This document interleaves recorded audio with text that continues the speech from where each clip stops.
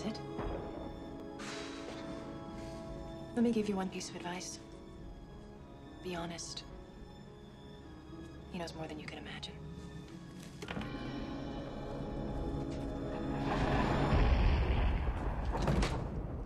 At last. Welcome, Neo. As you no doubt have guessed, I am Morpheus. It's an honor to meet you. No, the honor is mine. Please, come,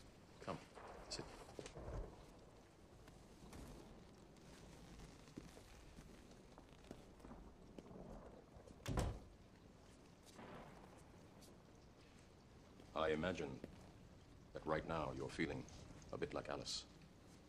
Tumbling down the rabbit hole? Hmm? You could say that. I can see it in your eyes. You have the look of a man who accepts what he sees because he is expecting to wake up. Ironically, this is not far from the truth. Do you believe in fate, Neo? No, Why not? because I don't like the idea that I'm not in control of my life.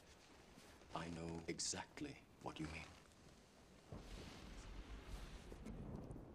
Let me tell you why you're here. You're here because you know something. What you know you can't explain, but you feel it. You felt it your entire life. That there's something wrong with the world. You don't know what it is, but it's there, like a splinter in your mind, driving you mad. It is this feeling that has brought you to me. Do you know what I'm talking about? The Matrix. Do you want to know what it is? The Matrix is everywhere. It is all around us. Even now, in this very room. You can see it when you look out your window or when you turn on your television. You can feel it when you go to work, when you go to church, when you pay your taxes. It is the world that has been pulled over your eyes to blind you from the truth.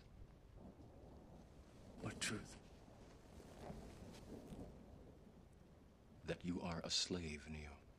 Like everyone else, you were born into bondage, born into a prison that you cannot smell or taste or touch.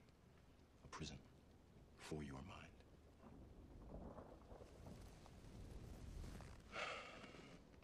Unfortunately, no one can be told what the Matrix is. You have to see it for yourself.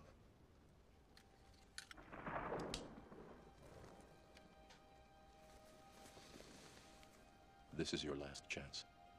After this, there is no turning back. You take the blue pill. The story ends. You wake up in your bed and believe whatever you want to believe. You take the red pill. You stay in Wonderland. And I show you how deep the rabbit hole goes.